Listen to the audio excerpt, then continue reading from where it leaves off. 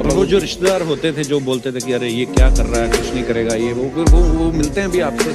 अब मैं नहीं मिलता भी उनसे।